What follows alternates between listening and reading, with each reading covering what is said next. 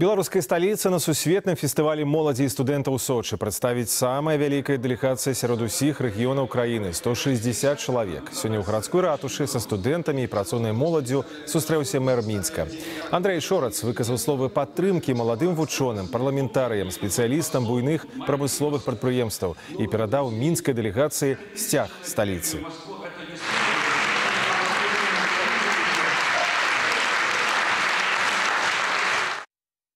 Делегация города Минска на сегодняшний день одна из самых многочисленных.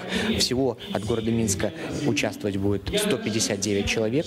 Те ребята, которые, скажем, работают активно в общественной жизни города, района своего, своей первичной организации. Конечно же, мы таким образом решили их поощрить и включить делегации. Студенты – это не только успеваемость хорошая, но и те, кто сегодня реализовывает э, много важных для города, для нашей республики проектов. Я студент четвертого курса Белорусского государственного университета информатики и радиоэлектроники.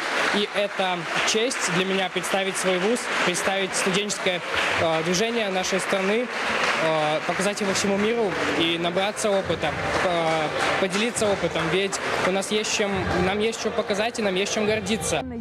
19 сусветны фестываль моладзі і студэнтаў адкрыецца на наступным тыдні і пройдзе адразу ў двух гарадах рассіі Маскве і Сочы збярэ студэнтаў і моладзь са 150 краін свету.